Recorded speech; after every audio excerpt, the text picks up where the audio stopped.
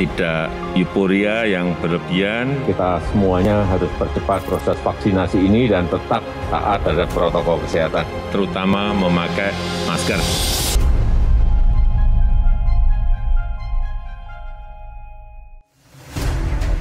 Guys, katanya nih peduli lindungi itu buatan Singapura. Uh, yang bener aja. Ada juga katanya nih, dua tahun pandemi COVID-19 rencananya untuk depopulasi dunia. Wih, bener nggak tuh? Ada lagi nih, katanya sertifikat vaksin bisa untuk isi BBM gratis. Wow, menyenangkan. Tapi bener nggak sih? Semuanya akan dikupas secara tuntas oleh Popon Kerok dalam Bener Gak Sih?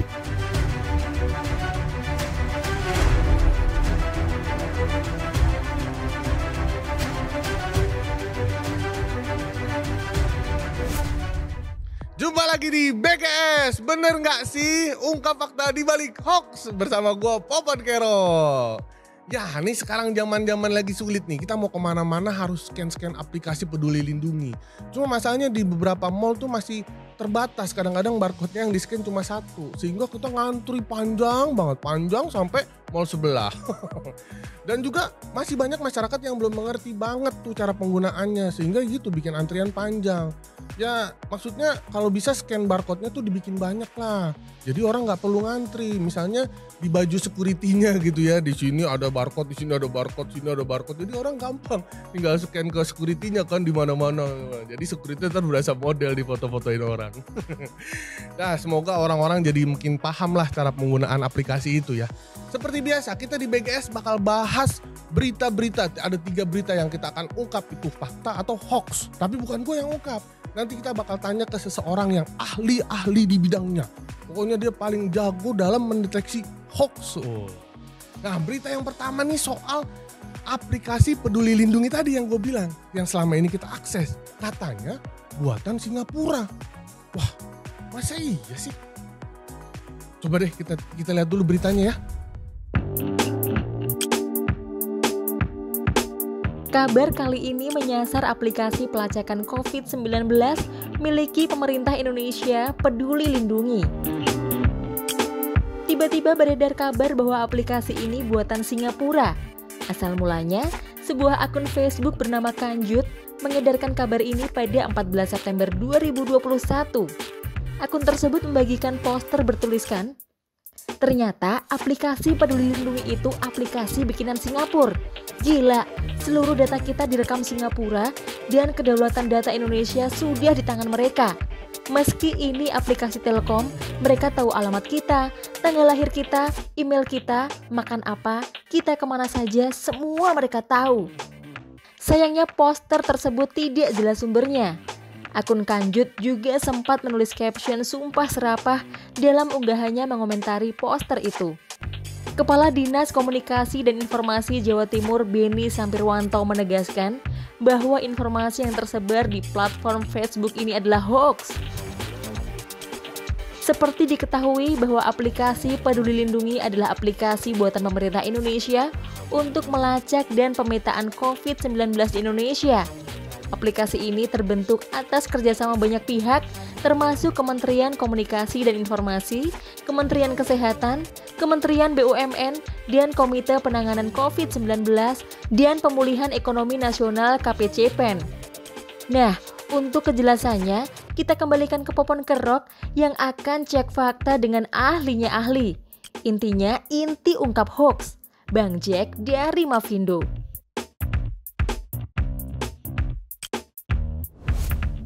Itu tuh katanya buatan Singapura.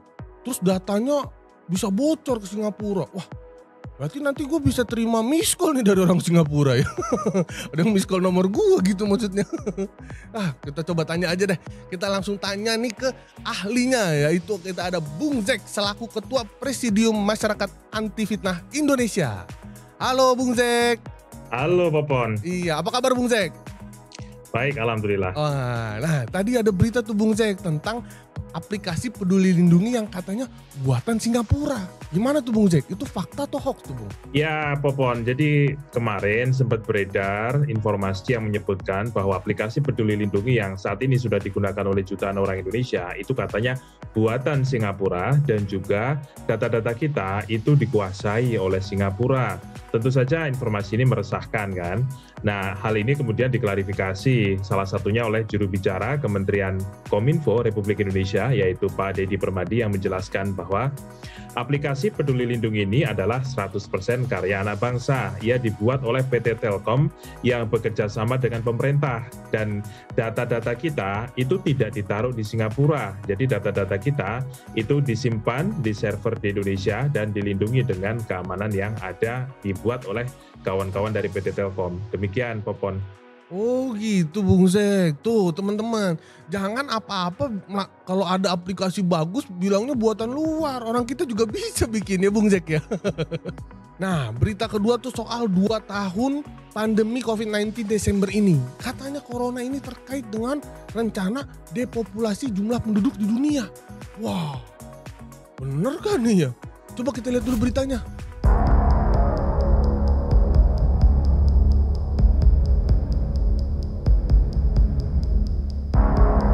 Apa? COVID adalah strategi depopulasi dunia? Mengerikan sekali. Tentu saja kabar ini sontak membuat gempar jagat maya. Sebuah akun Twitter bernama Semesta Bersabda atau @s4h4b4t6 mengunggah sebuah narasi konspirasi yang menyatakan bahwa COVID-19 adalah rencana depopulasi dunia. Unggahan itu disebar pada 4 Oktober 2021. Semesta Bersabda menuliskan narasi depopulasi dengan tambahan narasi bernada nyinyir soal lengahnya prokes masyarakat yang dibiarkan terjadi. Untuk meyakinkan pernyataannya, dia juga mengunggah foto jurnal ilmiah yang telah dipublikasi. Dalam foto tangkapan layar, disebutkan bahwa metode pemeriksaan COVID-19 telah dipatenkan oleh Rothschild di tahun 2015. Faktanya, pada tahun 2015, Rothschild mengajukan paten untuk sistem pengumpulan data biometrik. Ketika pandemi COVID-19 terjadi di tahun 2020, paten tersebut kembali diajukan dengan metode Continuation in Part Application atau pengajuan lanjutan untuk sebagian cara. Sebab sebagian cara dalam sistem yang sama dapat digunakan untuk meriksa apakah seorang terjangkit penyakit COVID-19 dalam metode pengajuan paten lanjutan. Tanggal yang harus dicantumkan adalah tanggal ketika paten untuk sistem asli diajukan, yaitu pada tahun 2015. Selain itu ada foto berikutnya, disebutkan bahwa dokumen milik Bank Dunia menyatakan bahwa sebuah program bernama COVID-19 Strategic Preparedness and Response Program atau SPRP akan berakhir pada 31 Maret 2025. Faktanya, dalam dokumen yang sama telah dijelaskan di beberapa halaman selanjutnya bahwa program tersebut merupakan program bantuan dari Bank Dunia untuk negara-negara anggotanya dalam mengatasi dampak dari COVID-19. Kabar burung macam ini bukan hal baru selama pandemi. Jamak banget kejadian COVID dan konspirasi depopulasi manusia jadi semacam tren yang sering membuyarkan masyarakat. Memang sulit sih ngebedain ini hoax atau enggak kalau buat rakyat jelata. Harus ada yang ngecek kebenarannya agar nggak nambah resah, gundah, dan gelisah kecarut marutan informasi pandemi hari ini. Nah, Pon, coba tanyain kebenarannya sama Bang Jack ya biar nggak resah nih kita pada.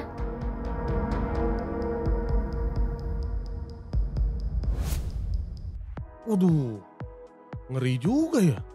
Ini siapa yang ngerencanain mau depopulasi nih? Orangnya kayaknya mau hidup sendiri aja deh nggak ngajak-ngajak kita nih. Coba kita tanya ke Bung Jack dulu nih. Gimana nih Bung Jack tentang berita yang kedua? Katanya corona itu terkait dengan rencana depopulasi penduduk di bumi.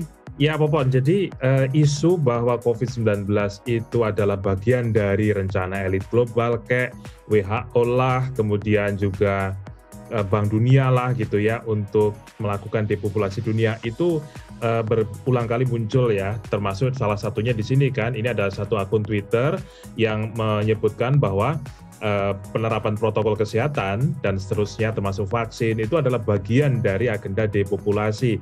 Nah ini adalah informasi yang menyesatkan ya kalau misalnya kita tengok ke dalam uh, postingan yang dibuat di Twitter itu, itu klaimnya itu jelas-jelas uh, sesat ya. Yang pertama adalah uh, dia mengutip atau men-screenshot sebuah paten oleh perusahaan Rothschild ya di tahun 2015. Uh, faktanya uh, paten yang dimasukkan oleh perusahaan itu adalah terkait dengan data biometrik bahwa kemudian ketika pandemi COVID-19 itu berlangsung, Rothschild kemudian melanjutkan uh, paten itu untuk menangani uh, situasi pandemi COVID-19. Tetapi tidak bisa disimpulkan bahwa Rothschild itu termasuk bagian dari upaya merencanakan pandemi COVID-19. Demikian juga ada beberapa foto yang lain yang salah satunya adalah terkait dengan Bank Dunia yang menyatakan uh, sebuah program yang namanya adalah COVID-19 Strategic Preparedness and Response Program yang akan berakhir tanggal 31 Maret 2025 itu kan kalau menurut mereka-mereka disebut bahwa bahwa pandemi Covid ini sudah didesain oleh Bank Dunia dan akan selesai di tahun 2025 begitu. Padahal faktanya informasi itu sama sekali sudah menjelaskan bahwa program itu adalah merupakan bantuan dari Bank Dunia kepada negara-negara anggotanya dalam mengatasi dampak pandemi Covid-19.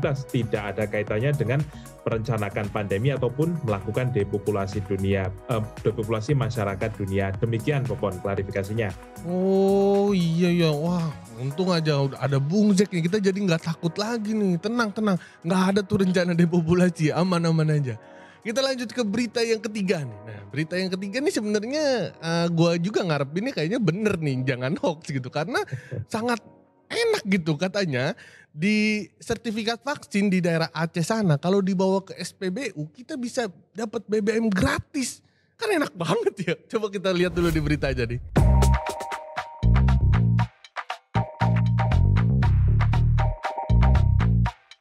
Beberapa waktu lalu, satu akun Twitter bernama @kaila_ashkiyah membagikan sebuah foto surat resmi yang dikeluarkan oleh Satuan Brimob Batalion C Pelopor Polda Aceh. Surat resmi ini terkait dengan upaya percepatan vaksin di wilayah Trumon Raya, Aceh Selatan.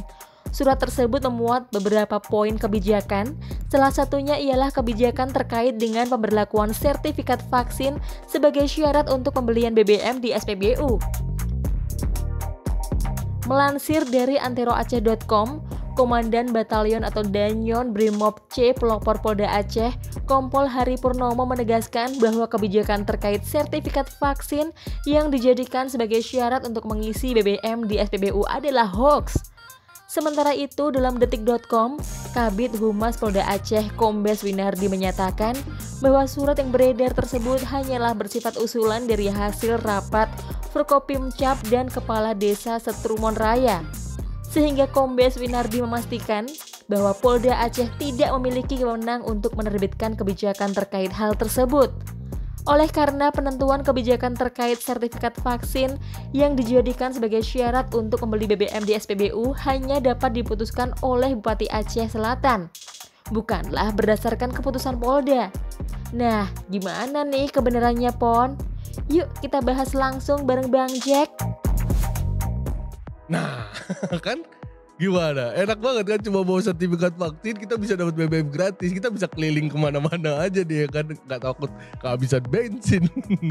Tapi kita tanya dulu ke Bang, Bung Zek nih. Gimana? Bener gak nih beritanya? Hoax atau fakta Bung Zek? Ya informasi yang menyebutkan bahwa sertifikat vaksin itu menjadi syarat pengisian BBM itu adalah informasi yang keliru ya uh, bahwa di akun Twitter itu ia mengunggah sebuah screenshot ya uh, foto ya dari sebuah surat uh, yang berkop kepolisian di sana dan itu disebut sebagai bukti bahwa kalau nanti mengisi BBM itu nanti harus menggunakan uh, syaratnya adalah membawa uh, sertifikat vaksin. Nah, faktanya surat itu barulah merupakan usulan ya dari kepala-kepala desa dari uh, forum komunikasi ya uh, antar kecam, pimpinan kecamatan yang ada di sana. Jadi itu adalah sifatnya usulan dan itu bukan kebijakan. Jadi kalau yang namanya kebijakan itu bukan dikeluarkan oleh kepolisian tetapi dikeluarkan oleh pemerintah daerah uh, setempat. Jadi sampai saat ini itu tidak ada kebijakan yang muncul dari pemerintah daerah setempat terkait dengan kewajiban menggunakan sertifikat vaksin untuk pengisian badan BPM ya. Jadi itu adalah informasi yang uh, tidak bisa dipercaya. Demikian. Nah itu dia tadi tuh nggak jadi lah kita dapat BBM gratis kerja makanya biar bisa punya duit buat beli BBM ya.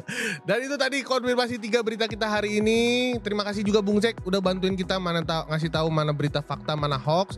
Nah kalau teman-teman masih nemuin berita yang ragu nih hoax atau fakta bisa langsung cek nih di s.id slash info vaksin ya kan karena kalian bisa langsung cek tuh di situ.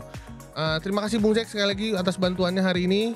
Sama-sama Popon. Iya. Nah, nah netizen, kita ketemu lagi di BGS episode selanjutnya bersama gue Popon Kerok. Dadah.